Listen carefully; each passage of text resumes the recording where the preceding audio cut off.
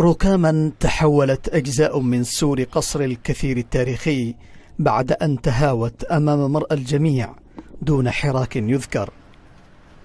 تحذيرات متتالية من خطورة تشققات عميقة أعقبها هذا الانهيار الذي يبدو أنه لن يكون الأخير. لم تلقى هذه التحذيرات أي استجابة من قبل الجهات الحكومية والمنظمات المهتمة بالتراث. تزايدت التشققات آه، في الآونة الأخيرة وخلال السنتين الأخيرتين بسبب تزايد الأمطار التي هطلت على وادي حضرموت. آه، الأمر الذي أدى إلى آه، ضغط هائل على الجدار من سطح الساحة وأنذر بالسقوط. الحقيقة أنه مناشدتنا تلك لم تلقى استجابة آه، حتى وقتنا الحاضر.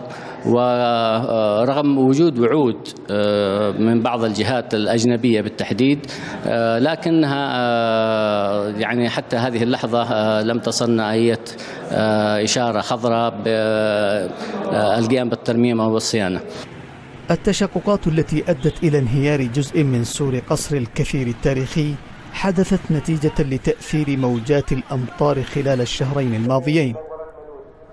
لكن هذه المشكلة ليست الوحيدة التي تهدد هذا المعلم فتآكل بعض أجزاء الأسقف والأعمدة الخشبية يمثل خطورة أخرى قد تسبب كارثة جديدة إن لم تتحرك الجهات المعنية. آه، القصر يحتاج حاليا إلى صيانة مستمرة. أولا نقول وثانيا صيانة بعض الأدوار وبعض القبال وبعض الجدران بصيانة مستمرة كون هذا المبنى طيني. فالمبنى الطيني يحتاج إلى صيانة مستمرة مش زي المباني الإسمنتية.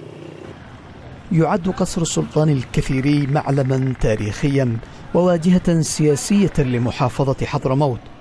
احتضنت أروقته أنظمة حكم قديمة ويعتبر القصر أكبر بناية طينية في اليمن وشبه الجزيرة العربية. لكن الإهمال الذي يتعرض له يمثل جريمة بحق تاريخ اليمن العريق.